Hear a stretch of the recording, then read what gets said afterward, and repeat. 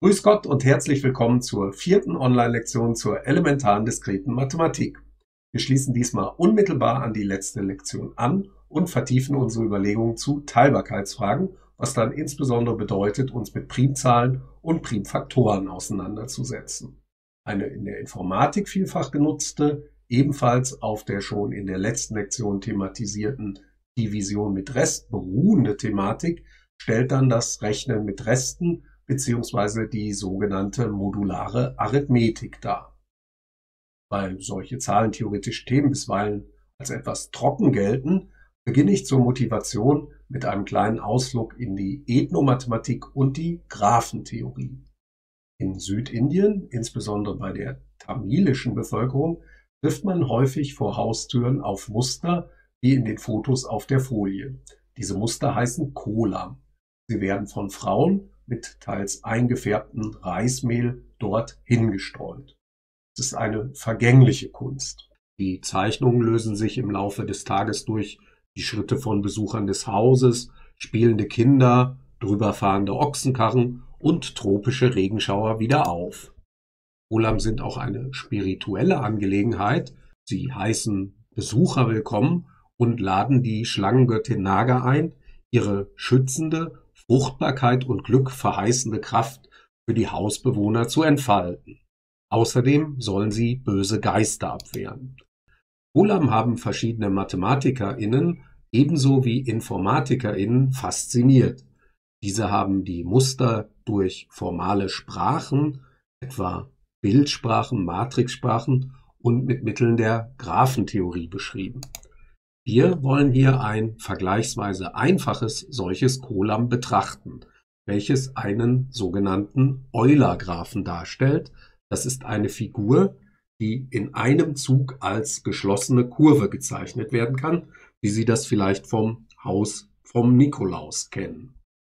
Bei dieser Figur wird zunächst mit einem Punktmuster begonnen, das sternenförmig von einem Zentrum ausgehend an acht Armen je fünf Punkte enthält. Die Figur selbst erhält man nun, indem man sich an die Abfolge 1, 3, 5, 2, 4 hält. Schauen wir uns das einmal genauer an. Schauen wir uns einmal den Herstellungsalgorithmus dieser Figur an. Der besteht daran, dass man an den einzelnen Ästen verschiedene Punkte abläuft und zwar immer in der Reihenfolge 1, 3, 5, 2 und 4. Das meint, hier ist die 0, da ist die 1, hier ist die 2 und so weiter. Dann wollen wir mal anfangen. Also wir fangen hier an. Ich bin jetzt immer ein bisschen zittrig, aber Sie werden dann sehen, wie äh, das Prinzip ist. Also an dem Ast die 1 und jetzt muss ich hier rüber zur 3. Jetzt muss ich weiter zur 5. Von der 5 muss ich herunter hier auf die 2 kommen. Also 2. Jetzt geht es auf die 4. Jetzt geht es wieder weiter. 1, 3, 5, 2, 4. Einmal bin ich durch. Jetzt muss ich hier unten wieder hinkommen. Also wieder auf die 1. Jetzt geht es wieder auf die 3. Und jetzt wieder auf die 5 und runter auf die 2. Und jetzt male ich das noch zu Ende, lasse das im Video dann aber so ein bisschen schneller ablaufen.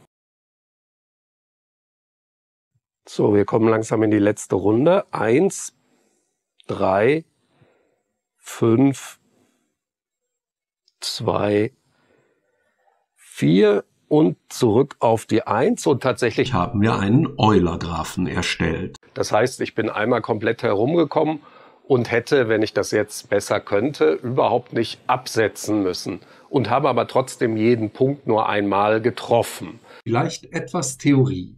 Warum ergibt sich überhaupt eine geschlossene Kurve? Dazu habe ich hier oben eine Tabelle angelegt. In der Tabelle haben wir acht Spalten. Ich beginne mal bei 0. Warum wird sich nachher noch zeigen? Und fünf Zeilen.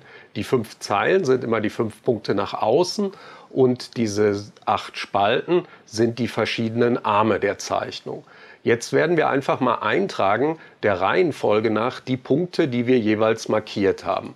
Also immer diese Folge 1, 3, 5, 2, 4. 1, 3, 5, 2, 4. 1, 3, 5.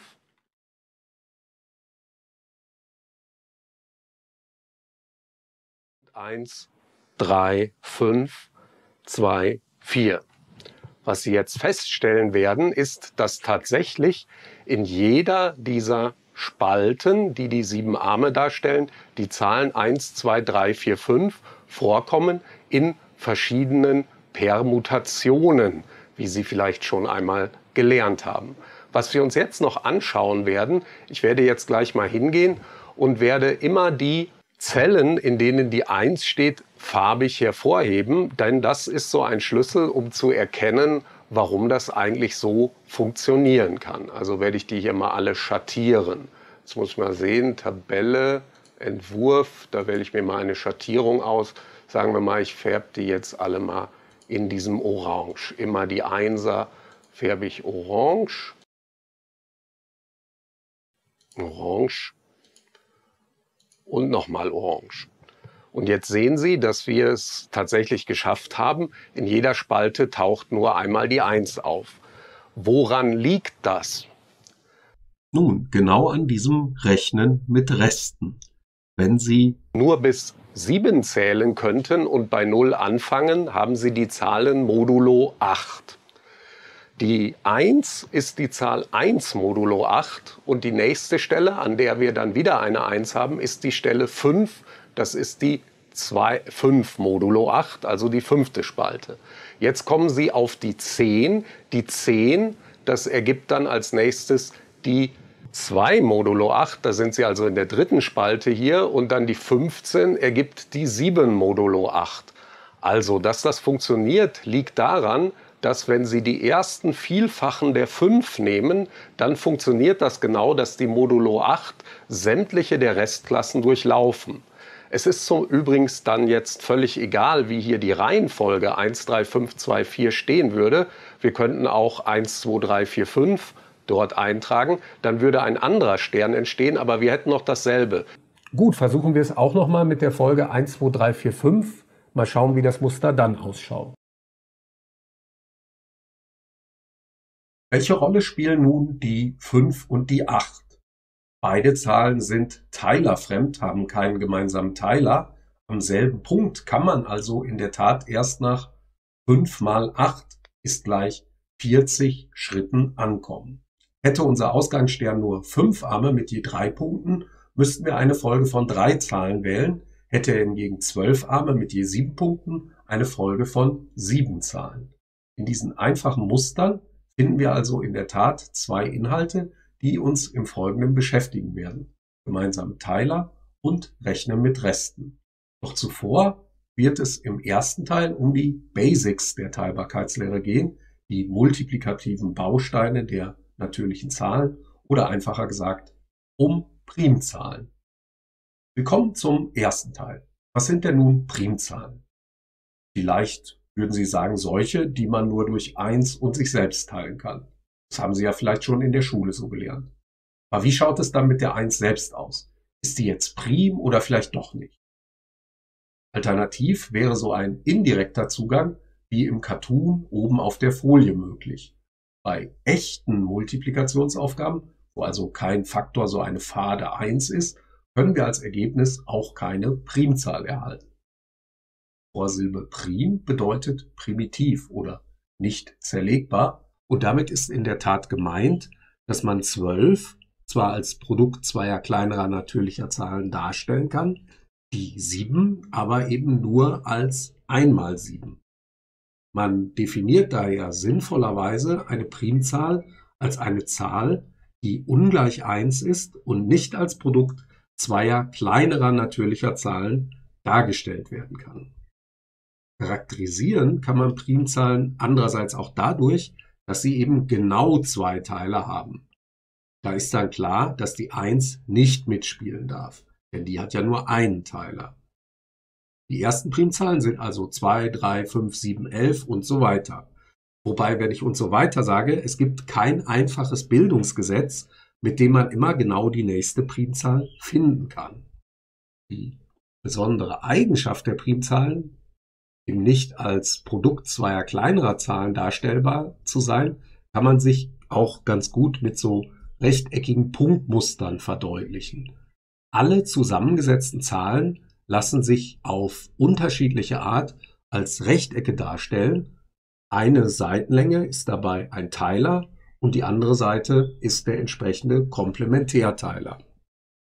Aber für Primzahlen findet man keine solche Möglichkeit, außer die Punkte alle in eine Reihe hintereinander zu setzen, also quasi als Breite für das Rechteck die Zahl 1 auszuwählen.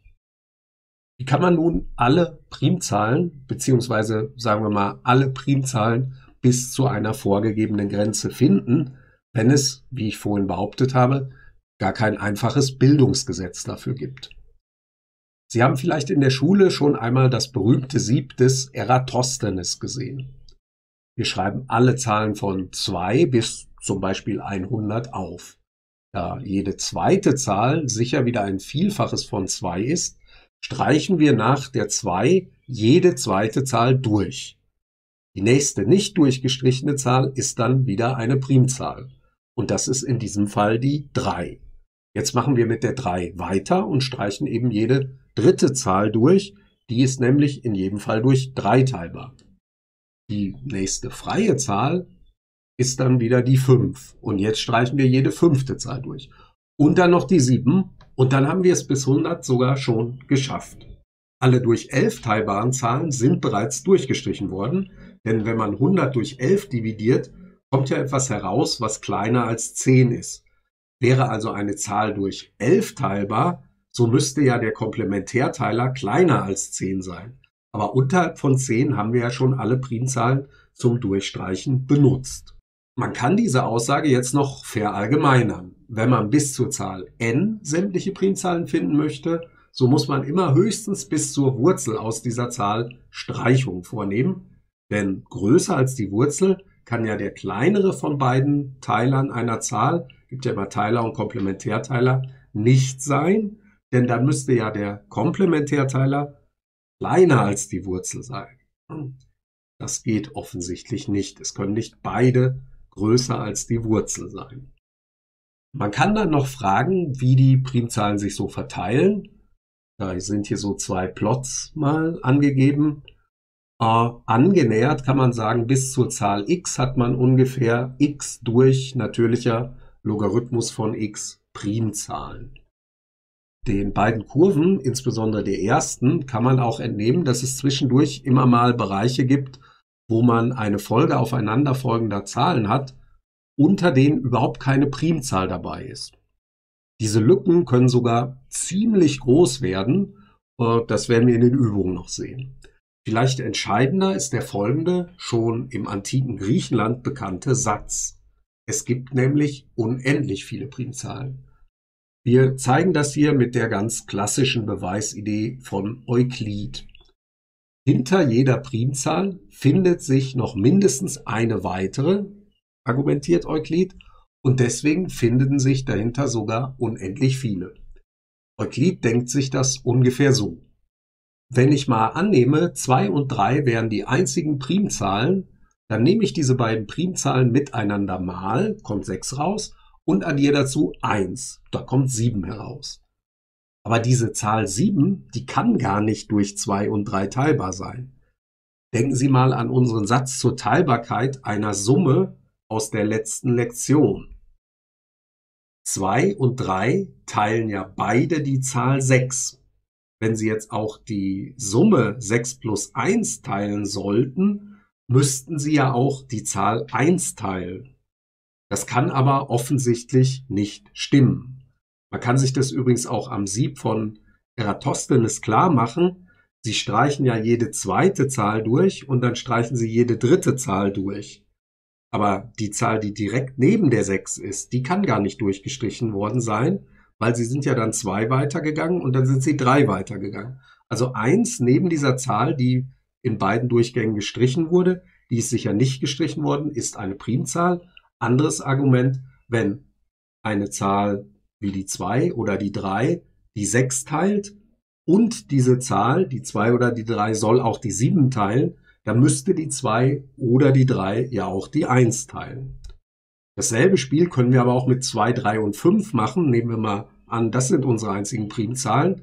Nehmen wir die alle miteinander mal, also 2 mal 3 ist 6, mal 5 ist 30 und dann geben wir noch eins dazu. So kann die entstandene Zahl auch nicht durch zwei, drei oder fünf teilbar sein, weil dann müssten ja wieder zwei, drei und fünf auch die eins teilen.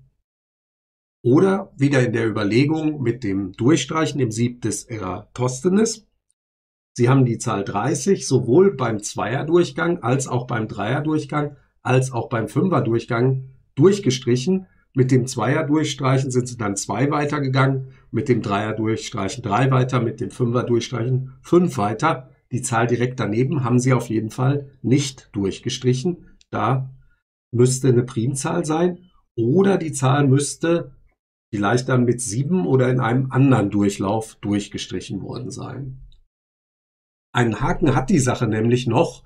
Wir wissen nur, dass die Zahl die eins größer als das Produkt dieser uns schon bekannten Primzahlen ist, durch keine von diesen uns schon bekannten Primzahlen teilbar sein kann. Also die 31 kann nicht durch die 2, 3 oder 5 teilbar sein. Was für die Zahlen zwischen 5 und 31 ist, Darüber ist noch nichts weiter ausgesagt. Also nochmal, die Zahl, die wir so finden, muss nicht unbedingt eine Primzahl sein und es muss erst recht nicht die nächstgrößere Primzahl sein. Das sieht man ja schon bei 2 mal 3 plus 1 haben Sie 7, da wäre aber auch noch die 5 dazwischen. Und wenn man zum Beispiel hernimmt 2 mal 3 mal 5 mal 7 mal 11 mal 13 und gibt noch 1 drauf, dann findet man die Zahl 30.031. Und die Zahl 30.031 ist gar keine Primzahl, aber sie enthält zwei Primfaktoren, 59 und 509. Und das sind zwei Primzahlen, die in dieser Aufzählung bislang noch gar nicht vorgekommen sind. Wir haben also wieder eine neue Primzahl gefunden. Für unseren Beweis ist das eigentlich egal, ob diese 30.031 eine neue Primzahl ist oder nur neue Primfaktoren enthält. Bildet man das Produkt einer beliebigen Zahl von Primzahlen, also man sagt, ich kenne die ersten n Primzahlen, 2 mal 3 mal 5 mal 7 mal 11 mal 13 mal 17 mal 19 und das geht immer so weiter. Alle, die Sie kennen, die nehmen Sie alle miteinander mal und Sie geben 1 drauf. So muss die entstehende Zahl wenigstens einen noch nicht enthaltenen Primfaktor haben oder aber selbst Prim sein weil es eben nicht sein kann, dass die Zahl 2 mal 3 mal 5 mal 7 mal 11 und so weiter bis zur letzten Primzahl, die Sie kennen, die ist auf jeden Fall durch alle diese Primzahlen teilbar. Und wenn Sie dann noch eins draufgeben, dann kann das eben nicht durch diese Zahlen teilbar sein, weil da müsste die 1 auch durch diese Zahlen teilbar sein. Damit findet man also bei jeder beliebigen endlichen Menge von Primzahlen immer noch eine zusätzliche Primzahl und damit findet man letzten Endes unendlich viele Primzahlen. Man hat nun immer wieder nach Formeln gesucht, die mit Sicherheit oder zumindest relativ oft Primzahlen liefern. Sehr bekannt sind etwa die Mersenne-Zahlen, das sind die Zahlen der Form 2 hoch n minus 1. Aber diese Formel liefert nicht immer Primzahlen. In den allermeisten Fällen liefert sie keine Primzahlen. Mersenne-Zahlen in der Form 2 hoch n minus 1 sind nämlich immer dann zerlegbar, also zusammengesetzte Zahlen, wenn n in dem Exponenten keine Primzahl ist. Das ist übrigens ein einfacher Beweis, den wir für die Übung reservieren können. Und selbst dann, wenn n in der Formel eine Primzahl ist, liefert der Ausdruck auch nicht immer eine neue Primzahl. Also Mersenne-Zahlen sind keine Primzahlformeln in dem Sinn, dass man da immer Primzahlen findet. Selbst wenn man in den Exponenten Primzahlen schreibt, muss nicht unbedingt eine neue Primzahl herauskommen. Bei den Fermat-Zahlen ist es sogar noch schlimmer. Da weiß man, dass diese für alle n kleiner als 5 eine Primzahl liefern. Das ist dann schon eine ziemlich große Zahl, weil sie da haben 2 hoch 2 hoch n. Das wächst sehr schnell. Ähm, und man weiß, dass für n von 5 bis 32 auf jeden Fall zusammengesetzte Zahlen herauskommen. Für die besonders großen da, 2 hoch 2 hoch 31 plus 1, da hat man aber zum Beispiel noch gar keine Primfaktorzerlegung. Man hat das auf anderem Wege gezeigt, dass diese Zahl nicht prim sein kann. Ob es dann noch weitere Fermat-Zahlen gibt, die vielleicht doch prim sind oder ob alle für n größer als 5 keine Primzahlen sind, das ist derzeit ein noch offenes Problem. Außerdem kennt man bis heute keine Formel, die ausschließlich Primzahlen erzeugt. Erst recht kennt man keine Formel, die sämtliche Primzahlen erzeugt. Man weiß nur, dass es unmöglich ist, eine einfache Formel zu finden, die ausschließlich Primzahlen liefert. Also man weiß, dass das nicht mit einem Polynom zum Beispiel funktioniert. Man weiß allerdings nicht, ob es grundsätzlich unmöglich ist, überhaupt eine solche Primzahlformel zu finden. Also man weiß halt viel, was man nicht weiß. Primzahlen sind außerdem, wie schon am Anfang gesagt, die multiplikativen Bausteine der natürlichen Zahlen. Und zwar in dem Sinn, dass sich alle zusammengesetzten Zahlen durch Multiplikation mit lauter Primzahlen als Faktoren erzeugen lassen. Ja, so ein paar Beispiele sehen Sie da auf der Folie. 30 ist gleich 2 mal 3 mal 5, 54 ist 2 mal 3 mal 3 mal 3 und die 360, wir können das ja so ein bisschen kompakter hinschreiben, das ist die 2 hoch 3 mal 3 hoch 2 mal 5. Zudem ist es noch so, dass diese Darstellung in Primfaktoren bis auf die Reihenfolge, wie Sie die Primfaktoren aufschreiben, eindeutig ist. Wenn Sie die also der Größe nach sortieren und meinetwegen auch noch in Exponenten zusammenfassen, dann kommen Sie bei einer Zahl immer nur auf eine mögliche Darstellung in Primfaktoren. Das ist ein sehr wichtiger Satz in der elementaren Arithmetik. Der Satz wird sogar manchmal Fundamentalsatz der elementaren Arithmetik genannt. Ich habe den in den Vorjahren eigentlich auch immer bewiesen.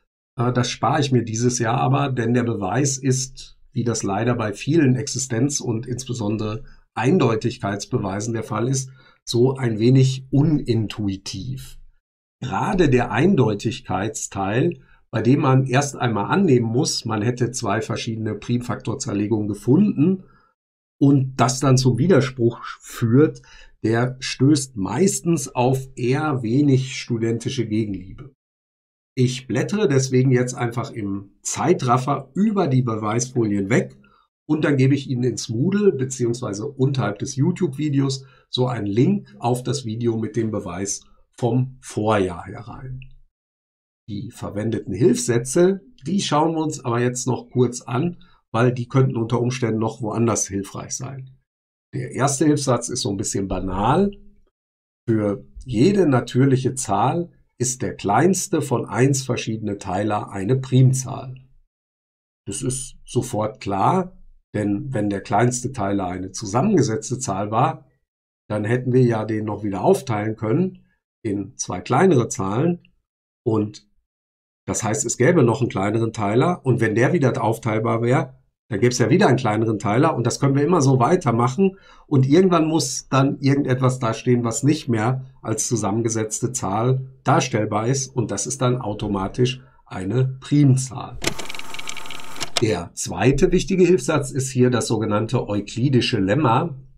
Wenn eine Primzahl ein Produkt teilt, also p teilt a mal b, dann teilt sie stets einen der beiden Faktoren, also a oder b, kann auch sein, dass sie beide teilt. Wir hatten schon gesehen, dass das für gewöhnliche, also zusammengesetzte Zahlen gar nicht immer stimmen muss. 16 würde zum Beispiel das Produkt 8 mal 4 ist gleich 32 teilen, aber 16 teilt weder den Faktor 8 noch den Faktor 4. Für Primzahlen muss aber einer der beiden Faktoren wirklich durch die Primzahl teilbar sein. Dafür ist der Beweis in den Folien enthalten, so dass Sie ihn auf Wunsch gerne durchlesen können. Aus Zeitgründen spare ich mir aber in diesem Video den Beweis und schließe hier schon den ersten Teil ab. Wir können jetzt in der interaktiven Version des Videos wieder auswählen, wie es weitergehen soll.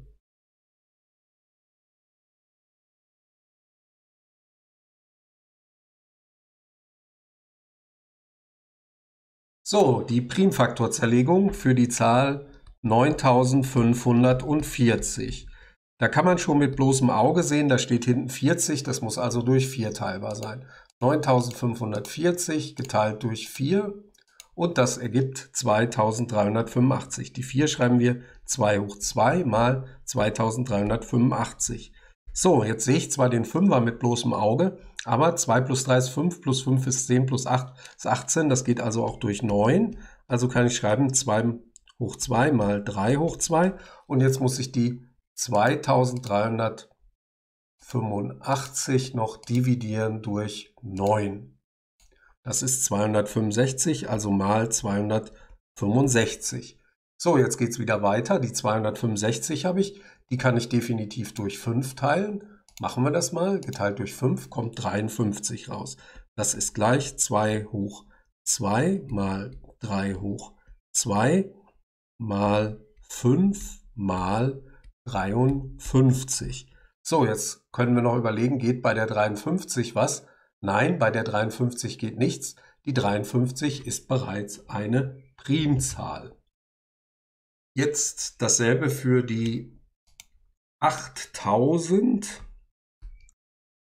8758. So, die 58, das ist nicht durch 4 teilbar, aber durch 2 wird der ganze Kram gehen. Also 8758 geteilt durch 2. 4379. Also ist das hier 2 mal 4379. 4379 ist das durch 3 teilbar. 4 plus 3 ist 7, plus 7 ist 14, plus 9 ist 23. Haben wir leider in diesem Fall Pech gehabt. Durch 3 kriegen wir das nicht geteilt. Kriegen wir auch nicht durch 5 geteilt, aber schauen wir mal, geht es vielleicht durch 7. Na, durch 7 geht es auch nicht, müssen wir es wieder mal 7 nehmen. Geht es vielleicht geteilt durch 11. Geht auch nicht, also nehmen wir es wieder mal 11. Geht es vielleicht durch 17? Geht es auch nicht, also nehmen wir es wieder mal 17. Geht es vielleicht durch 19? Geht es auch nicht, also nehmen wir es wieder mal 19. Geht es vielleicht durch 23? geht es auch nicht, also wieder mal 23 und dann geht es aber vielleicht durch 29 und das geht es. Es ist also gleich 2 mal 29 und jetzt breche ich mal ab und verrate Ihnen, ich war sehr fies, die 151 ist tatsächlich auch eine Primzahl.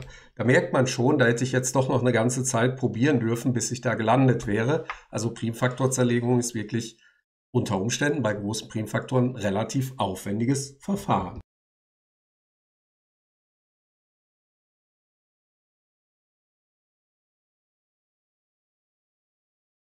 So, bei dieser Aufgabe bin ich mal faul und löse das direkt auf.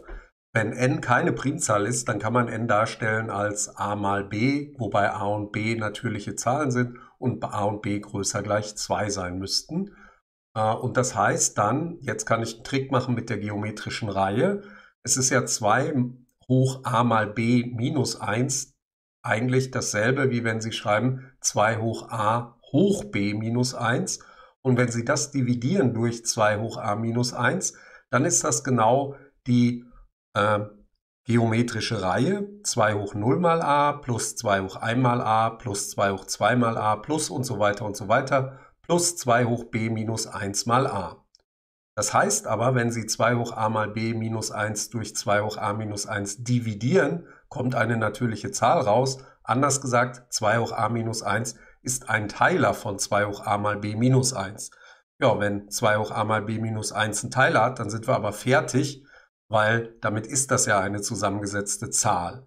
Die Mersenne-Zahl 2 hoch a mal b minus 1 ist daher in jedem Fall eine zusammengesetzte Zahl und das war auch zu beweisen. Wir kommen zum zweiten Teil, in dem wir die Teilbarkeitslehre aus Lektion 3 noch etwas vertiefen werden, indem wir nun auch solche Aussagen betrachten können, für die wir die Eindeutigkeit der Primfaktorzerlegung voraussetzen müssen. Wir beginnen mit der Bestimmung der Anzahl der Teiler einer natürlichen Zahl.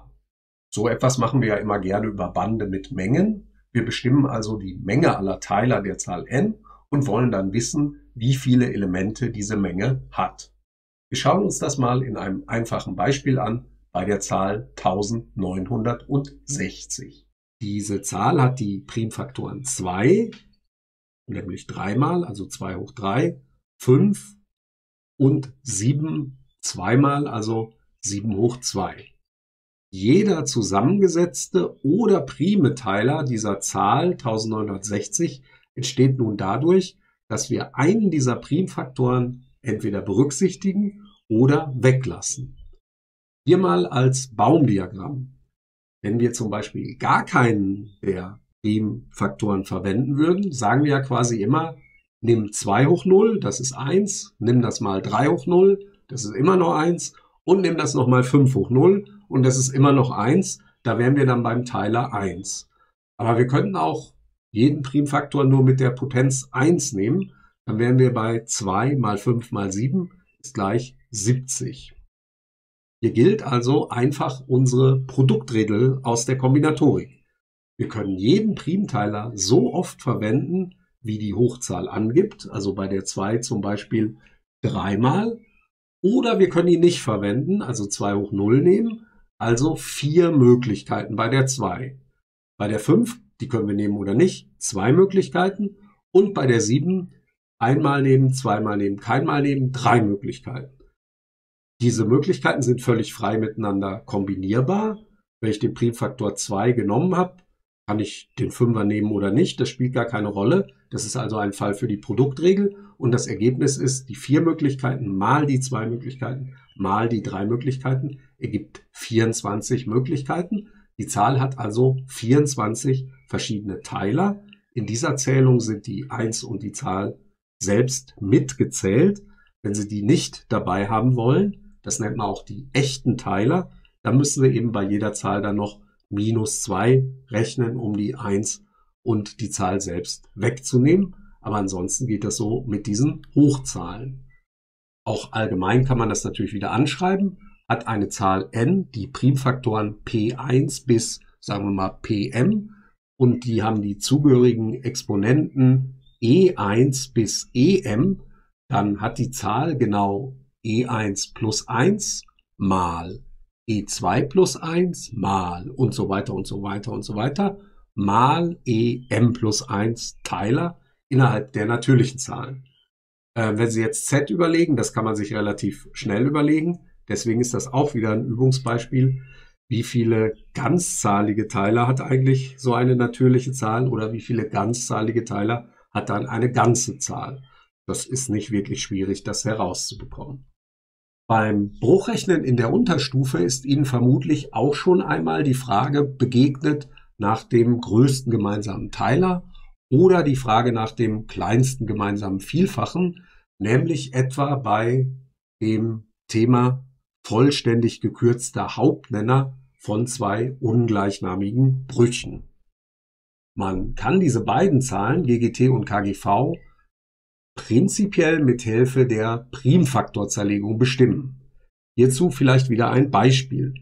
Der größte gemeinsame Teiler der beiden Zahlen 180 und 105 ergibt sich ja, wenn man bei jedem der auftretenden gemeinsamen Primfaktoren immer die kleinste auftretende Potenz auswählt und dann diese Zahlen, also nur die gemeinsamen Primfaktoren und da immer nur die kleinste auftretende Potenz miteinander mal nimmt. Man darf da nur den kleineren von den beiden Potenzen oder Exponenten nehmen, weil der ausgewählte Primfaktor, sagen wir hier mal die 3, ja zum Beispiel nur einmal in der 105 enthalten ist. Und wenn Sie jetzt 3 hoch 2 nehmen würden für den gemeinsamen Teiler, das wird sich nicht ausgehen, weil 3 hoch 2 ist gleich 9, ist ja kein Teiler von 105, weil Primfaktorzerlegung ist eindeutig, da passt nur einmal 3 rein. Umgekehrt muss man beim KGV, kleinsten gemeinsamen Vielfache, sämtliche Primzahlen hernehmen und immer mit dem größten auftretenden Exponenten. Weil, wenn wir hier zum Beispiel nur die 3 nehmen würden und nicht die 3 hoch 2, dann würde ja die entstehende Zahl bei KGV eine Zahl sein, die sicher nicht durch 180 teilbar ist, denn die 180 enthält ja selbst den Primfaktor 3 schon in der Potenz 2. Auch das halten wir jetzt als Satz wieder feierlich allgemein fest. Der GGT ergibt sich als das Produkt der gemeinsamen Primfaktoren jeweils in der kleineren von beiden auftretenden Potenzen in den Zahlen a und b. Analog würde man das KGV als Produkt sämtlicher Primfaktoren, also nicht nur der gemeinsamen, und zwar jeweils mit der größten auftretenden Potenz bestimmen können. Damit ist im Grunde genommen auch sofort klar, dass kleinstes gemeinsames Vielfaches mal größter gemeinsamer Teiler immer dasselbe ergeben muss wie die Zahl a mal die Zahl b. Wir haben ja gewissermaßen nur die Primfaktoren etwas umsortiert, ja, nach der Größe.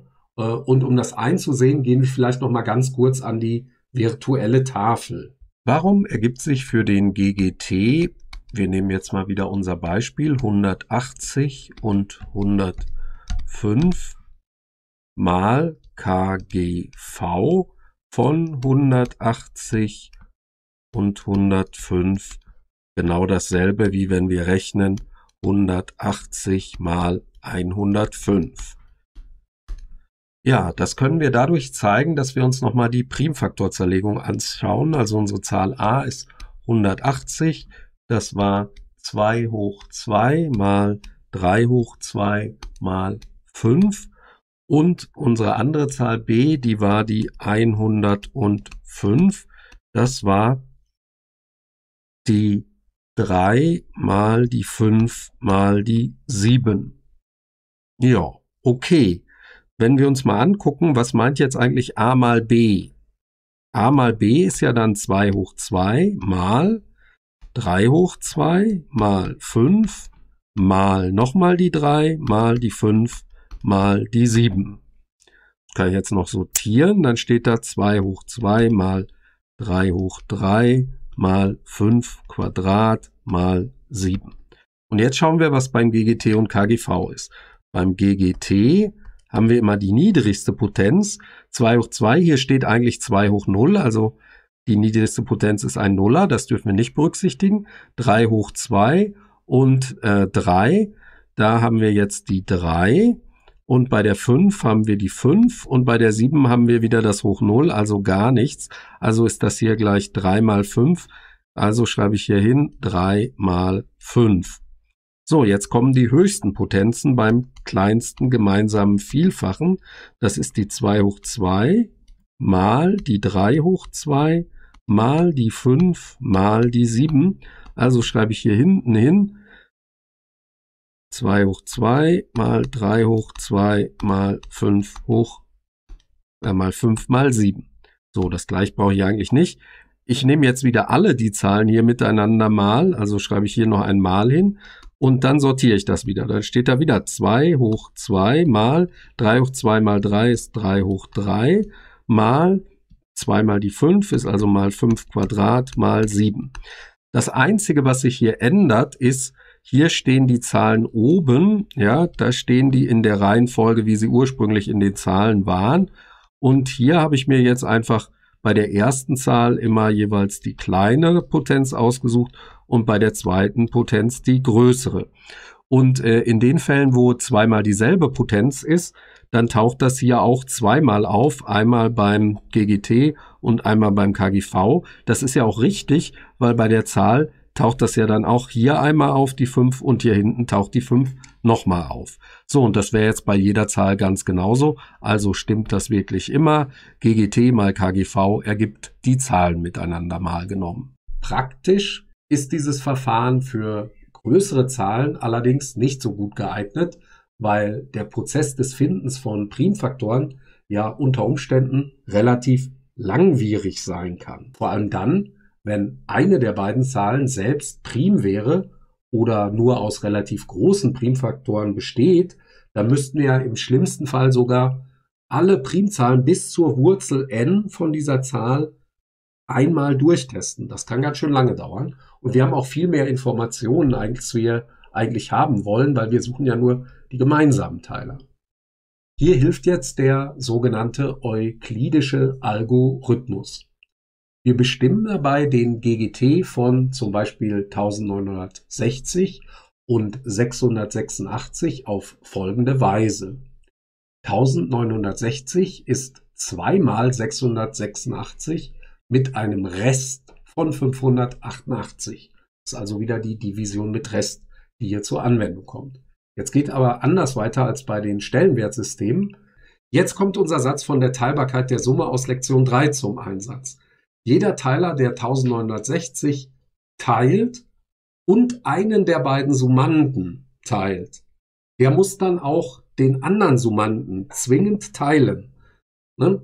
Weil das hatten wir ja schon. Also wenn er jetzt die 686 nicht teilen würde, dann müsste er auch die 588 nicht teilen. Also den Fall gibt es schon auch. Aber wenn er die 1960 teilt und er teilt die 686, dann hatten wir ja gesagt, dann muss er, selbst wenn er keine Primzahl ist, auch die 588 teilen. Also schauen wir einfach mal, wie oft die 588 jetzt in die 686 reinpasst. Das geht sich genau einmal aus und es bleibt als Rest 98. Jetzt kommt wieder unser Teilbarkeitsargument. Jeder Teiler, der sowohl in die 686 geht und auch in die 588, der muss auch in die 98 gehen. Und weil jeder Teiler von 1960 und 686 auch in die 588 geht, muss jetzt zusammengenommen jeder gemeinsame Teiler von 1960 und 686 auch in 588 drin sein und auch in 98 drin sein. Aha, wir haben das jetzt also kleiner gemacht. Und jetzt machen wir das Spiel einfach nochmal. Wir schauen jetzt, wie oft die 98 in diese 588 passt. Das geht sich ganz genau sechsmal aus und es bleibt ein Rest von 0. Ja, dann sind wir aber fertig, weil jetzt ist die 98 einfach der GGT von 1960 und 686, weil 98 teilt die 588 und 98 teilt natürlich die 98 und dann teilt 98 natürlich auch die Summe 98 und 588, also die 686. Umgekehrt teilt die 98 ja die 588 und die 686, also auch zweimal 686 plus 588 und das ergibt genau 1960. Die 98 ist also ein gemeinsamer Teiler von 1960 und 686. Es ist aber auch der größte gemeinsame Teiler, weil wenn es einen größeren gäbe, der müsste ja dann auch immer noch die 98 teilen aufgrund dieser letzten Zeile, die da steht. Weil wenn Sie da mal nachdenken, wenn die 98 jetzt noch einen größeren Teiler hätte, das kann nicht sein, ne? das geht nicht. Also haben wir den größten gemeinsamen Teiler. Wir machen das, weil es schnell ging, vielleicht nochmal mit einem großen Zahlenbeispiel. 64.589 und 3.178. 64.589 ist 20 mal 3.178 und es bleibt ein Rest von 1.029. Jeder gemeinsame Teiler von 64.589 und 3.178 muss auch die 1029 teilen. Jetzt wechseln wir wieder zu 3178 und 1029 machen das da genauso und stellen fest, es bleibt ein Rest von 91. Jetzt können wir wieder so argumentieren, jeder gemeinsame Teiler von 3178 und 1029 muss also auch die 91 teilen. Irgendwann landen wir dann bei der Zeile 28 ist gleich 4 mal 7 plus 0. Wir wissen dann, 7 ist ein Teiler von 28. Aus der Zeile darüber erfahren wir, dass 7 dann auch die Summe eines beliebigen Vielfachen von 28 und 7 teilen muss. Zum Beispiel 3 mal 28 plus 7, das ist 91. Und das Argument nehmen wir jetzt zeilenweise mit nach oben und sehen dann in der ersten Zeile, dass die 7 auch ein Teiler von 64.589 und 3.178 sein muss. Es muss aber auch der größte gemeinsame Teiler sein. Denn wenn man jetzt von oben nach unten liest, dann wissen wir ja, dass jeder gemeinsame Teiler von 64.589 und 3.178 auch die Zahl 7 teilen muss. Die 7 hat aber natürlich keinen größeren Teiler als die Zahl 7 selbst. Also ist 7 der größte gemeinsame Teiler. Man kann das Ganze auch mit Variablen aufschreiben. Da sieht man jetzt aber auch nicht viel mehr und man hat da lauter Pünktchen drin, weil man natürlich nicht weiß, wie oft das durchläuft. Und genau das ist vielleicht sogar ganz hilfreich, weil man wird sich eines Problems bewusst, dass ja insbesondere InformatikerInnen oft schlaflose Nächte bereitet, nämlich die Frage, bricht ein gegebener Algorithmus nach endlich vielen Schritten wirklich ab oder besteht die Gefahr, dass wir in einen Infinite Loop hereinlaufen. Hier ist das glücklicherweise aber wieder ganz ähnlich wie bei den Stellenwertsystemen und wie bei der Division mit Rest. Die auftretenden Reste in jeder Zeile werden echt kleiner und in der Lektion 2 haben wir bereits gelernt, dass eine Folge absteigender natürlicher Zahlen irgendwann abbrechen muss. Das ist hier spätestens bei 1 der Fall. Und wenn Sie bei 1 ankommen, dann sind wir übrigens genau dort, wo die beiden Zahlen keinen gemeinsamen echten Teiler haben, außer der 1 halt. Ne? Das ja kein echter Teiler. Und man nennt diese Zahlen dann auch teilerfremd. Und jetzt, ne, Full Circle, sind wir wieder am Anfang. Das ist genau der Fall, den wir brauchen, damit so ein Kolam in einer Linie durchzuzeichnen ist, brauchen wir ein GGT von 1 für die Anzahl der Arme bezogen auf die Anzahl der Punkte auf einem Arm. Vom euklidischen Algorithmus gibt es auch noch eine erweiterte Variante. Die ist interessant im Zusammenhang mit dem folgenden Satz, dem sogenannten Lemma von Bezout. Es lassen sich nämlich für zwei ganze Zahlen a und b, wir machen das jetzt erstmal nur für zwei natürliche Zahlen, ganzzahlige Faktoren, da brauchen wir das Minus unbedingt, R und S bestimmen, so dass man ein GGT von A und B schreiben kann als R mal A plus S mal B. Und R und S, da darf dann schon eine von negativ sein, sonst wird das nicht hinhauen. Ähm, wenn Sie jetzt schon lineare Algebra besucht haben oder das im Moment besuchen, der GGT von A und B, wenn man den als S mal A plus T mal B schreiben kann, aha, man kann also den GGT als eine Linearkombination der Zahlen a und b darstellen. Das ist eine interessante, wichtige Information. Um diese Zahlen r und s zu finden, müssen wir unseren euklidischen Algorithmus nur ein ganz bisschen aufbohren. Wir müssen nämlich immer die Reste wieder zurück einsetzen. Wir machen das mal für etwas kleinere Zahlen, dann sieht man das vielleicht etwas besser, 99 und 78. Wir suchen jetzt also eine Zahl R mal 99 plus S mal 78, so dass der GGT von 99 und 78 herauskommt, den wir noch gar nicht kennen, aber vielleicht raten könnten, weil 9 plus 9 ist 18, 7 plus 8 ist 15, also die haben auf jeden Fall schon mal drei. Aber das muss ja nicht unbedingt der größte gemeinsame Teiler sein. Also schauen wir mal. 99 ist einmal 78 plus 21. Und das lösen wir jetzt zum Rest in auf. Also das ist äh, Doppelfallchen dazwischen. 21 ist gleich. So, jetzt lassen wir ein ganzes Stück Platz. Sie sehen gleich, wofür das gut ist. Das ist einmal 99 minus 78. Und ich habe einfach die einmal 78 auf die andere Seite der Gleichung rübergebracht. So, jetzt nächste Zeile. 78. Jetzt müssen wir ja wieder gucken, wie oft passt der Rest da rein. Das ist 3 mal 21 plus 15. Und jetzt lösen wir das auch wieder nach dem Restim auf. Jetzt steht da 15 ist gleich 1 mal 78 minus 3 mal 21.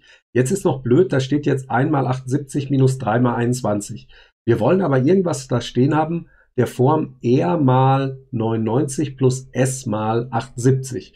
Also müssen wir jetzt die 21 da noch wegkriegen. Die 21 kriegen wir weg, mit der Zeile darüber. Da steht ja 21 ist gleich 1 mal 99 minus 78. Das setzen wir jetzt also einfach rein. Und dann steht da also minus 3 mal 99. Und jetzt minus mal minus 1 ist plus 1 mal, äh, plus 3 mal 78, weil da steht ja minus 3 mal 21, also plus 3 mal 78 und 1 mal 78 hatten wir noch von dieser Zeile, also plus 4 mal 78. Also minus 3 mal 99 plus 4 mal 78 ist gleich 15. Haben wir schon, aber 15 ist vielleicht noch nicht der GGT. Kann er noch nicht sein, weil da steht ja noch nicht plus 0 bei dem 3 mal 21. Also müssen wir doch noch weiter rechnen. Also wieder weiter. 21 ist gleich 1 mal 15 plus 6. Okay, und jetzt schreiben wir wieder, formen wir wieder um, lösen auf nach 6. 6 ist gleich 21 minus 1 mal 15. So, das ist jetzt ein bisschen lästig. Jetzt müssen wir quasi in der 21er Zeile gucken. Da haben wir wieder stehen 1 mal 99 minus 78. Ja, das können wir für die 21 einsetzen und dann minus 1 mal 15, Zeile darunter, also minus minus 3 ist plus 3, haben wir also 4 mal 99 und dann minus 4 mal 78, haben wir also minus 1 mal 78, minus noch 4 mal 78, minus 5 mal 78. So, und jetzt geht das so weiter. Ne? Nächste Zeile 15 ist gleich 2 mal 6 plus 3, 3 auflösen. Und jetzt haben wir Glück gehabt. Jetzt steht hier 3 nachdem wir das alles eingesetzt haben, wieder ne, für 15 müssen wir wieder zweite Zeile einsetzen, für 6 müssen wir wieder dritte Zeile einsetzen, dann bleibt stehen minus 11 mal 99 plus 14 mal 78. So, und da sind wir jetzt glücklicherweise fertig, weil wenn wir jetzt noch hinschreiben, wie oft passt die 3 in die 6 rein, dann steht da 6 ist gleich 2 mal 3 plus 0. 3 ist also der letzte von 0 verschiedene Rest und der letzte von 0 verschiedene Rest ist der GGT und in dieser vierten Zeile haben wir schon stehen, 3 ist gleich minus 11 mal 99 plus 14 mal 78. Damit ist also unser gesuchtes R gleich minus 11 und unser gesuchtes S ist gleich plus 14. Wenn das jetzt etwas rasch ging, dann sollten Sie sich unbedingt den Übungsteil anschauen, denn da rechne ich noch ein Beispiel von Hand vor. Dieser Erklärteil des Videos ist jetzt ansonsten auch schon wieder zu Ende. Bitte wählen Sie aus.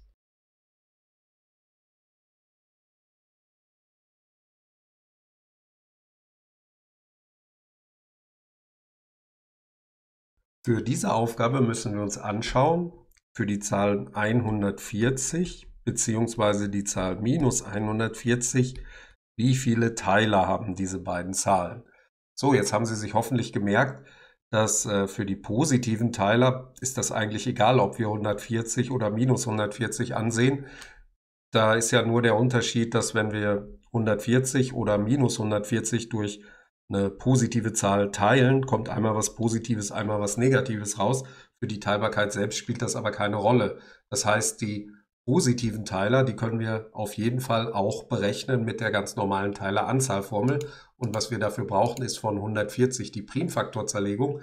Ja, das ist nicht so schwer, da muss ich, glaube ich, gar nicht in den Taschenrechner eintippen. Ne? 140 ist dasselbe wie 2 mal 70, beziehungsweise ist dasselbe wie 4 mal 35, also ist das dasselbe wie 2 hoch 2 mal 5 mal 7. So, jetzt müssen wir noch aufpassen. Das heißt, für die Teileranzahl von 140 gilt jetzt, die 140 hat drei Möglichkeiten, einen Zweier zu wählen, zwei Möglichkeiten, den Fünfer zu wählen, ja eben den Fünfer und nicht. Genauso hier bei 2, 2 hoch 2, einmal wählen, keinmal wählen, beide wählen. Und bei dem 7er haben wir wieder zwei Möglichkeiten. Haben wir also 3 mal 2 ist 6 mal 2 ist 12 Teiler. Das sind jetzt aber nur die natürlichen Teiler. Die teilen sich die 140 und die minus 140, das macht gar keinen Unterschied. Die Teileranzahl für die minus 140, die wäre natürlich auch 12. So, jetzt müssen wir noch überlegen, was können wir mit den ganzen Teilern noch machen? Ja, wir können immer ein Minus davor schreiben. Minus 1, minus 140, minus 70, plus 70. Also sind das also, wenn Sie die Teiler in Set suchen, dann gilt für T140, dass das gleich 24 ist. Und genauso gilt für T minus 140, dass das 24 Teiler sind. Und damit ist das Beispiel bereits gelöst.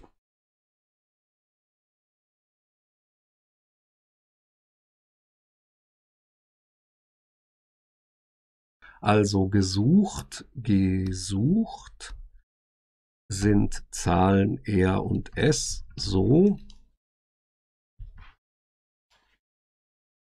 dass R mal 180 plus S mal 105 dasselbe ergibt wie der GGT von 180 und 105. Also fangen wir wieder an, möglichst weit links. 180 ist dasselbe wie 1 mal 105 und es bleibt ein Rest von 75. Andererseits, das male ich mir hier schon mal runter, habe ich die 75, das kann ich jetzt auflösen, jetzt musste ich ein bisschen Platz lassen, äh, kann ich die 75 schreiben als 1 mal 180 minus einmal 105. So, immer wenn jetzt unten die 75 auftaucht, kann ich die dadurch ersetzen. Die zweite Zeile, 105 muss ich mir holen aus der ersten Zeile und da geht wieder einmal die 75 rein und schon mit bloßem Auge sieht man, da bleibt ein Rest von 30. Jetzt kann ich die 30 sehr leicht schreiben, als 30 ist gleich einmal 105. Das ist ja eigentlich auch schon ganz nett. Und dann minus einmal 75. Aha, die minus einmal 75, die stören da noch. Die 75 muss ich jetzt durch das hier oben ersetzen. So, jetzt habe ich einmal 105 minus einmal minus einmal 105. 1 minus minus 1 ist zweimal die, äh, das sollte ich hier hinten hinschreiben, Entschuldigung, zweimal die 105 und vorne habe ich jetzt nicht die 2, sondern da muss ich jetzt gucken, minus 1 mal 1 mal 180 ist also minus 1 mal 180, so wird ein bisschen eng, plus 2 mal die 105. Ja, jetzt geht das wieder so weiter. Jetzt muss ich ja noch die 75 hernehmen und muss gucken, aha, da passt die 30 zweimal rein, 2 mal 30 ist 60 und es bleibt ein Rest von 15. Jetzt wieder der 15er Rest. Der 15er Rest, das ist ja wohl die 75 minus 2 mal die 30. Ah, das ist jetzt, das ist jetzt wirklich ein bisschen lästig. Jetzt muss ich in der 75er und in der 30er Zeile das nachgucken. Fangen wir mal an in der 75er Zeile mit den 180ern. Hier steht Faktor 1 davor, da muss ich also nicht weiter aufpassen. Haben wir einmal 180 und in der zweiten Zeile steht minus 1 mal 180. Das müssen wir jetzt nochmal minus 2 nehmen. Also minus 1 mal minus 2 ist 3, äh, 2 aber plus den einen kommen wir auf dreimal die 180 und jetzt dasselbe Spielchen, das Ersetzen ähm, für die 105er. Die 105er müssen wir feststellen. Die 105er haben wir in der 75 minus einmal, also minus 1 merken wir uns. Und jetzt minus 2 mal plus 2 ist äh, minus 4. Minus 4 minus 1 ist minus 5. Also steht hier minus 5 mal die 105. Aha, okay. Schaut ja schon ganz gut aus, weil in diesem Fall, wenn wir hier jetzt die 30 anschreiben, 30 ist ja nichts anderes als 2 mal 15, da bleibt ein Rest von 0. Also ist 15 hier oben bereits der GGT und wir haben unsere Darstellung gefunden. 15 ist dasselbe wie 3 mal 180 minus 5 mal 105 ist jedenfalls die Behauptung. Ja, jetzt können wir das ja vielleicht nochmal rechnen. 3 mal 180, das ist, äh, lassen Sie mich mal ganz kurz überlegen. Also 3 mal 180, das ist 540 hm, und minus 5 mal 105 äh, minus 5 mal 105, das ist minus 525 und wenn ich die beiden addiere, dann kommt da tatsächlich 15 raus. Und das wollten wir ja auch so haben. Damit ist dieses Übungsbeispiel bereits gelöst. Willkommen zum dritten Teil, in dem es um modulare Arithmetik, also das Rechnen mit Resten ging. Im Grunde genommen geht es beim Rechnen mit Resten um etwas, das uns schon vertraut ist, nämlich vom Umgang mit Uhrzeiten. Rechnen in einem nach oben beschränkten Zahlbereich. Mal abgesehen davon, dass wir diese Uhrzeit hier vielleicht etwas unterschiedlich lesen, 5.45 Uhr, Viertel vor sechs oder aber drei Viertel sechs, wir sind uns wohl alle einig, dass es 15 Minuten später eben nicht 5.60 Uhr spät sein wird, sondern 6 Uhr und 0 Minuten. Und wenn wir nicht 15, sondern 60 plus 15, also 75 Minuten aufschlagen, dann wird es eben auch nicht 5 Uhr und diese 75 Minuten sein, sondern es wird 7 Uhr und 0 Minuten sein. Oder dasselbe vielleicht noch bei Stunden. Drei Stunden später ist es dreiviertel neun.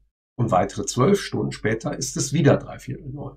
Wenn wir andererseits wissen wollen, wie viel später es beispielsweise 15 oder 30 Stunden später sein wird, dann können wir stets beliebige Vielfache von 12 abziehen, bis wir bei einer Zahl landen, die kleiner als 12 ist und dann direkt diese Zahl, also bei 15 zum Beispiel 3, auf die aktuelle Uhrzeit drauf addieren und sind uns dann sicher, dass wir die richtige Uhrzeit gefunden haben. Wir können also in der Tat auf eine bestimmte Art mit den Resten rechnen. Die modulare Arithmetik verallgemeinert diese Idee auf beliebige natürliche Zahlen als Reste und ganze Zahlen als Ausgangsmaterial. Da wir bislang noch nicht gesagt haben, was beim Rechnen mit negativen Zahlen das Ergebnis der Division mit Rest überhaupt sein soll, holen wir das hier vorab noch kurz nach. Als Rest bei der Division einer ganzen Zahl a, die positiv oder negativ oder null sein kann, durch eine natürliche Zahl b, soll diejenige eindeutig bestimmte nicht negative ganze Zahl eher verstanden werden, für die man eine Darstellung der Zahl a als ist gleich q mal b plus r findet. Wir gehen wieder kurz an die virtuelle Tafel, um uns klar zu machen, welche Rolle hier das Vorzeichen von a spielt und dass dieses r auch tatsächlich eindeutig bestimmt ist. Also fangen wir mal an. 9 wollen wir rauskriegen, was ist das modulo 5. Division mit Rest müssen wir machen, also 9 geteilt durch 5. Das ist gleich 1 mal 5 plus ein Rest 4. Dieser Rest 4, den wir hier haben, für den gilt bereits 0 kleiner gleich 4 kleiner gleich 5. Ja, kleiner als 5 sollte das heißen. So, sonst ist schlecht, muss ja kleiner sein mit dem Rest. Der 5er Rest wäre ja wieder der 0er Rest. So, also hier sind wir jetzt schon fertig. Daraus können wir schon direkt folgern, dass 9 modulo 5 wirklich gleich 4 ist. Aber wie sieht das bei minus 9 aus? Man könnte jetzt versucht sein zu sagen, ah, schreibe ich hier einfach Minus davor, ne, also ist minus 4, stimmt das? Oder müssen wir da vielleicht aufpassen? Minus 4 wäre ja blöd, weil minus 4 ist ja irgendwie noch der Rest größer als 5, können wir 5 drauf addieren, kommen wir auf 1. Aha, ist das, ist das dann 1? Schauen wir mal. Minus 9 modulo 5. Da müssen wir jetzt rechnen, 9 geteilt durch 5, aber minus 9 geteilt durch 5. Gut, da kommt raus minus 1 mal 5, ist ja auch nicht schlimm. Und minus 1 mal 5, da müssen wir noch minus 4 rechnen. So, das geht jetzt noch nicht. Ne? Minus 4 können wir nicht nehmen, weil minus 4 ist ja noch nicht zwischen 0 und 5. Also gehen wir weiter und sagen, okay, ich ziehe nochmal ab. Minus 2 mal 5 ist minus 10 plus 1.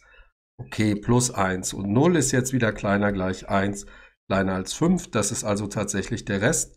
Das heißt, daraus folgt 9 minus 9 modulo 5 ist gleich 1. So, im Prinzip könnten wir auch minus 4 schreiben, aber da müssen wir halt wieder den 5er noch drauf addieren, damit wir in dem richtigen Bereich liegen. Genau diesen kleinstmöglichen positiven Rest bei der Division durch eine Zahl benötigen wir nun für die modulare Arithmetik. Wir definieren a modulo n als den kleinsten nicht negativen Rest von a bei Division durch n.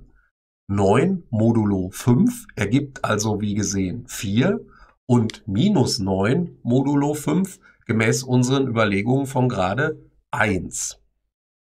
Auf der Folie steht jetzt noch eine alternative Schreib- bzw. Sprechweise, nämlich 9 ist kongruent 4 modulo 5, aber die behandeln wir erst in Lektion 5, weil wir dafür Äquivalenzrelationen und Äquivalenzklassen benötigen, um zu verstehen, was eigentlich dieses Kongruent bedeuten soll.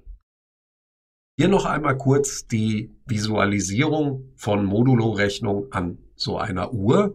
Diese hier ist jetzt für Modulo 8. 8, 16 und 24, beziehungsweise auch minus 8, minus 16, minus 24 und so weiter, lassen alle bei Division mit Rest durch 8 den Rest 0. Wir landen also wieder auf dem Nuller. 10, 18, 26 beziehungsweise minus 6, minus 14, minus 20 und so weiter lassen bei Division durch 8 alle den Rest 2, landen also hier auf dem Zweier. Jetzt wollen wir mal etwas rechnen. Rechnen wir mal 6 plus 6. Das wäre nun eigentlich 12. Aber eine 12 gibt es ja in dem inneren Ring dieser Uhr nicht. Das Ergebnis wird also dort stehen, wo sich der Rest von 12 bei Division durch 8 ergibt. Das ist bei 12 minus 8 ist gleich 4 und da sehen wir auch, dass dort die 12 außen dabei steht. Analog ergibt sich für 6 mal 5 eigentlich 30. Davon ziehen wir jetzt 8 so oft ab, bis wir kleiner als 8 sind. Das ist bei 4 mal 8 gleich 24 der Fall. Es bleibt also der Rest 6, den wir auch so interpretieren können. Wenn wir von 0 ausgehend 30 Schritte entlang dieser Uhr gehen würden, so würden wir am Ende bei der Zahl 6 herauskommen. Lassen Sie uns diese Rechenregeln nun als Definitionen festhalten. Wir definieren jetzt zunächst einmal für zwei Zahlen a und b, welche aus den Resten entstammen, also zwischen 0 und n minus 1 liegen, die sich bei Division durch Rest mit n ergeben können, eine eigene Addition. Diese Addition nennen wir Addition modulo n und schreiben die mit so einem n als Index beim Pluszeichen, beziehungsweise auch mit einem Dreier, wenn es die Addition modulo 3 ist, mit einem Achter, wenn es die modulo 8 ist. So, jetzt wollen wir eine Addition bestimmen und die, die Addition bestimmen wir einfach so, dass wir sagen, die Addition von a modulo n mit b ist der eindeutig bestimmte Rest, der sich ergibt, wenn man a und b ganz normal addiert und dann die Division mit Rest auf diese Summe ausführt. Ebenso verfahren wir für die Multiplikation. Der Rest, den das normale Produkt der beiden Zahlen a mal b bei Division durch n ergibt, soll eben das Ergebnis bei der Multiplikation modulo n heißen. Beide Definitionen sind, so wie sie da stehen, sinnvoll, man sagt auch wohl definiert, weil eben die Reste bei Division durch n eindeutig bestimmt sind. Vielleicht noch zwei Zahlenbeispiele. Wenn Sie 4 modulo 8 mit 6 addieren, ergibt das zunächst einmal Summe bilden, 4 plus 6, das ist 10 und 10 modulo 8 ergibt, so oft wie es geht, 8 abziehen, ist 2. Genauso 4 modulo 8 mal 3 ergibt 4 mal 3 modulo 8. Das ist dasselbe wie vorne zusammenfassen. 4 mal 3 normale Multiplikation ergibt 12. 12 modulo 8 ist so oft wie es geht 8 von 12 abziehen und da kommt 4 heraus.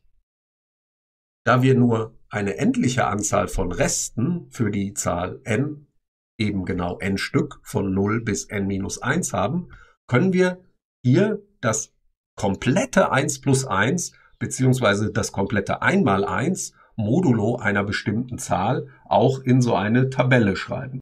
Hier ist das mal gemacht für die Addition und Multiplikation modulo 6. Aus der Tabelle können wir jetzt einige Rechengesetze vielleicht erahnen.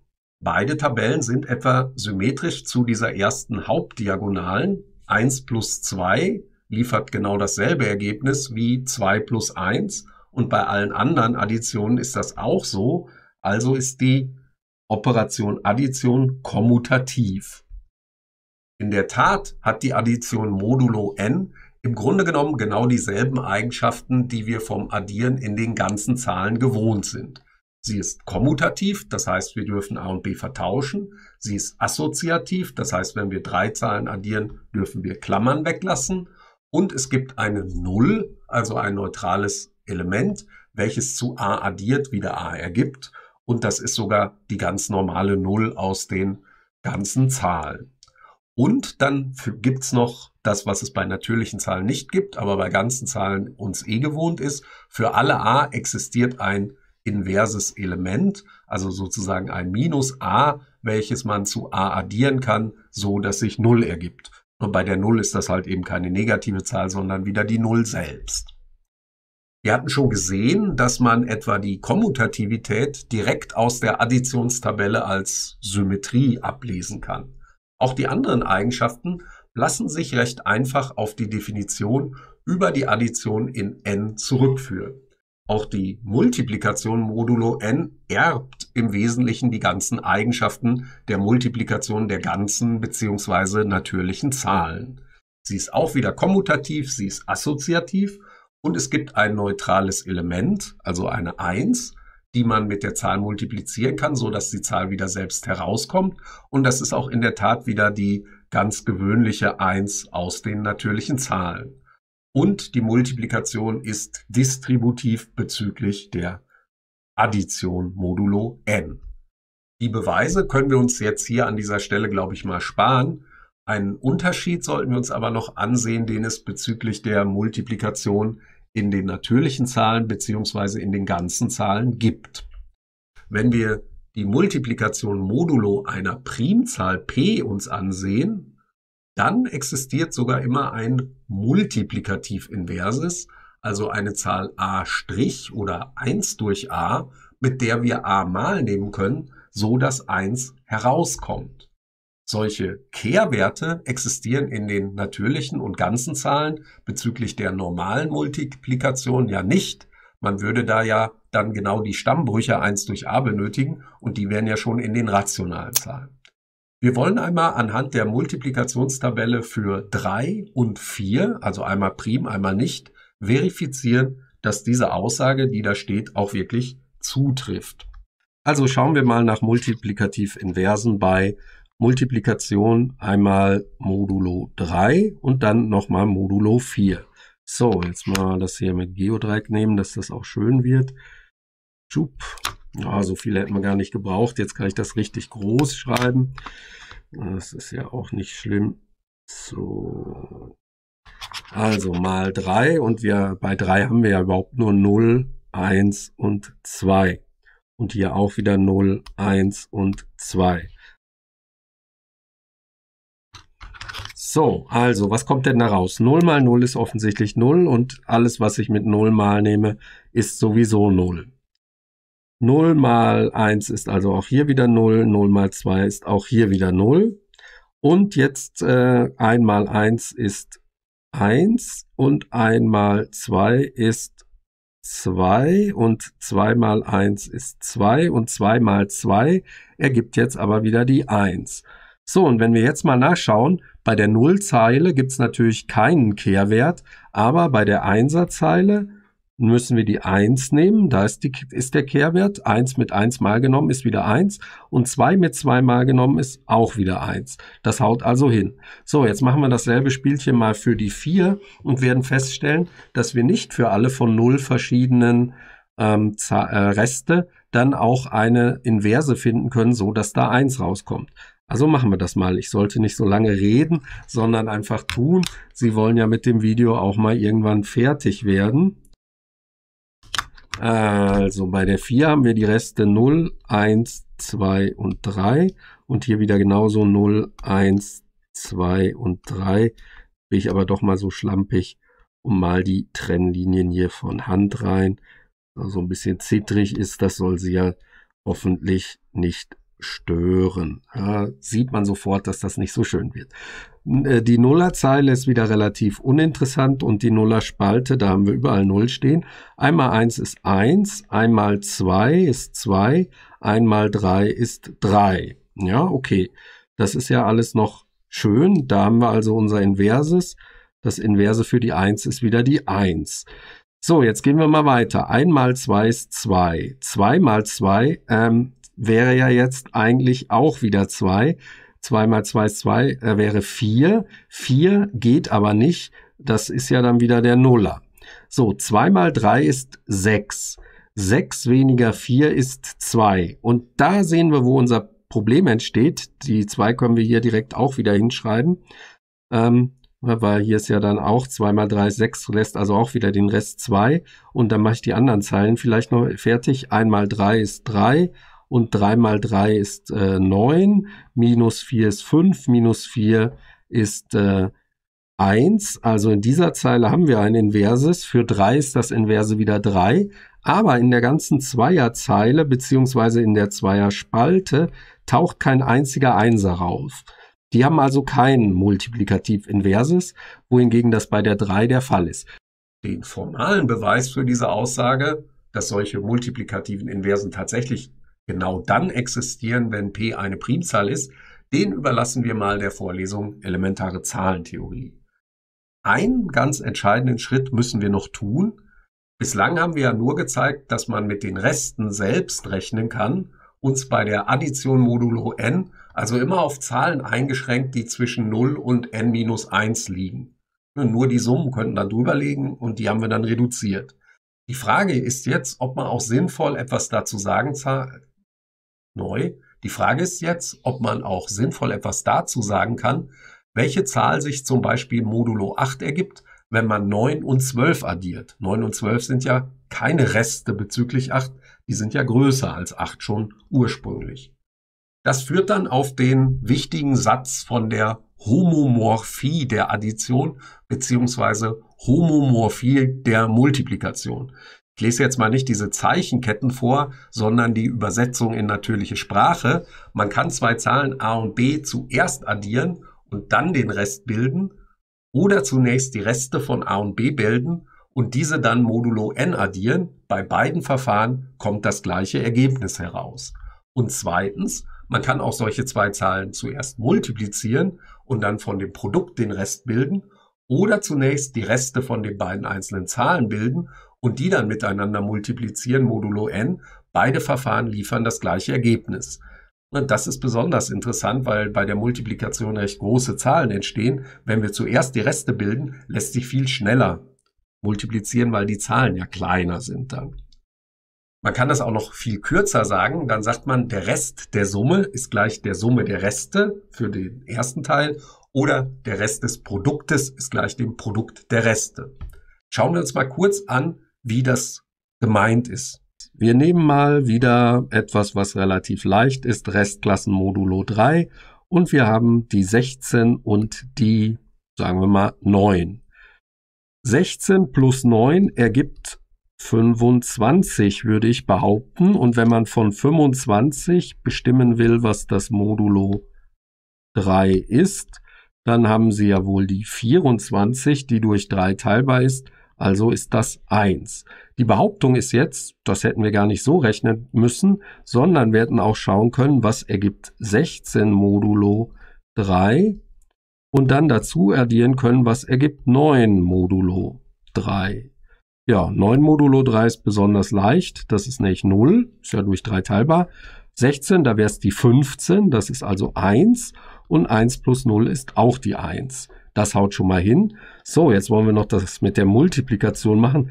16 mal 9, ah, da mache ich einen Trick. 16 mal 10 ist 160 und davon ziehe ich die 16 noch einmal wieder ab dann geht das für mich leichter. Das ist also 150 minus 6 ist die 144. Und jetzt brauche ich das, was ist die 144 modulo die 3. Ähm, da könnte ich zum Beispiel mal die 120 abziehen. Die ist sicher durch 3 teilbar, dann bleiben 24 übrig. Die 24 sind auch durch 3 teilbar sieht man ja auch, dass das durch 3 teilbar ist. Quersumme 1 plus 4 ist 5 plus 4 ist 9, also kommt da 0 raus. So, und jetzt war die Behauptung, das kriegen wir auch durch die Multiplikation hin, sehen wir eigentlich schon oben, 16 Mod 3 mal 9 Mod 3. Ja, das ist ja 1, ist äh, das erste, hatten wir gesagt mal 0 und da kommt auch 0 raus. Das funktioniert also auch. Und das funktioniert tatsächlich immer, auch wenn wir Zahlen haben, die größer sind als der Modulo, bei dem wir gucken, ähm, dann ist das trotzdem so, dass wir sagen können, es ist egal, ob wir zuerst die Zahlen addieren oder multiplizieren und dann gucken, was ist der Rest, oder ob wir die einzelnen Faktoren oder Summanden hernehmen und da gucken, was ist da der Rest und dann diese Reste addieren, wie hier oben oder multiplizieren wie hier unten. Damit sind wir am Ende dieses Teils angelangt. Eine wichtige Anwendung, nämlich Prüfziffern, habe ich in den Übungsteil gegeben. Aber ich überlasse wieder Ihnen die Entscheidung, wie es weitergehen soll.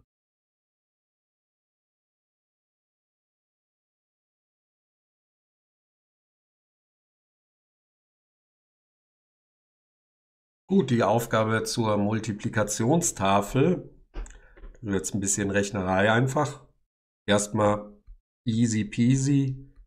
Nullerzeile, Nuller Spalte. Ebenso easy peasy Einser Spalte, Einser Zeile. Jetzt geht's weiter. 2 mal 2, 2 mal 2 ist 4. 2 mal 3 ist 6, minus 5 ist 1. 2 mal 4 ist 8, minus 5 ist 3. So, das kann ich auch hier wieder übertragen. 3 mal 3 ist 9, minus 5 ergibt den 4er und 3 mal 4 ergibt den 12er, macht also 2. Und 4 mal 4 ist 16, minus 15 ist ein 1er. Und jetzt Obacht, hier ist ein 1er, da ist ein 1er, da ist ein 1er, da ist ein 1er. Wir haben also wieder in jeder von null verschiedenen Zeile und Spalte einen Einser herinnen stehen und damit haben wir auch wieder gezeigt, dass es immer einen sogenannten Kehrwert gibt, beziehungsweise ein Multiplikativ inverses. Für das 3, äh, für die 3 ist das die 2, für die 1 ist es die 1 und für die 4 ist es die 4.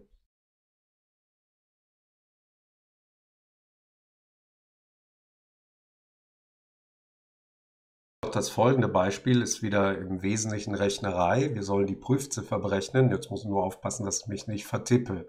Wir haben da einmal 10 mal die erste Ziffer ist eine 3 plus 9 mal die zweite Ziffer ist eine 4 plus 8 mal die dritte Ziffer ist auch eine 4 plus 7 mal die 6 plus 6 mal die 1 plus 9 mal 5 plus 4 mal 8 plus 3 mal 7 plus 2 mal 3. Das können wir erstmal ausrechnen. Das ist 250. So, jetzt brauchen wir so eine Prüfziffer so. Also heißt das, dass wir bei der 250, wenn wir das dazu addieren, dass wir dann auf den nächsten 11er kommen. Jetzt müssen wir die einfach mal geteilt durch 11 rechnen. Die 250 geteilt durch 11. Na, durch 1 wird nicht viel bringen, also müssen wir schon durch 11 teilen. So, das ist also 22 mal 11 und dann fehlt noch was. 22 mal 11 sind 242. So, und jetzt müssen wir eigentlich noch mal einmal 11 drauf addieren.